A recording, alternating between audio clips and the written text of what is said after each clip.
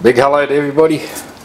Okay, well on our forum, which is http colon forward slash forward slash iaec.forumco.com, we have started a couple of new threads, and um, one that SD and MSN are doing is on pulse motors with onboard generators uh, which should be a very interesting thread. And I have also reopened the thread on pulse motor tests and tunes. So the first thing we have to do is of course make our base platform which here I've made it out of clear perspex.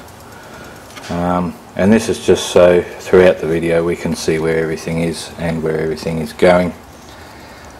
The other thing we have to do is get ourselves a nice rotor, which we have here. This is um, a rotor I made for another project that I called the Boss, which was an absolute failure.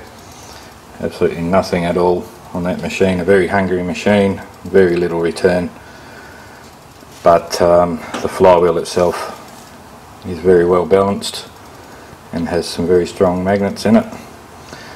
I'm using a head out of an old camcorder that took the old um, small tapes. And as you can see it is very very free and rotates without any resistance at all or hardly any.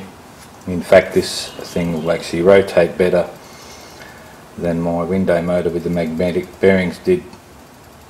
Um, this is purely because on my window motor I had big paddles which shifted a lot of air whereas this does not. Um, as you can see it does rotate very freely so we're off to a good start on this one.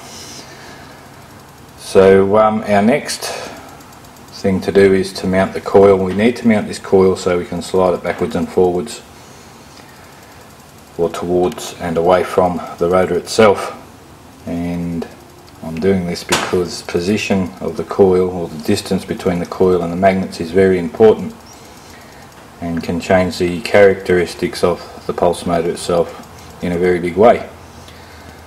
So next we'll go ahead and we'll hook up a coil and we will be making a separate board for the circuit board because we will be changing it as we go and once we have got the most efficient pulse motor we can make I will then put my new coils on that I have designed as the generator coils and we will see how they go as well in the system.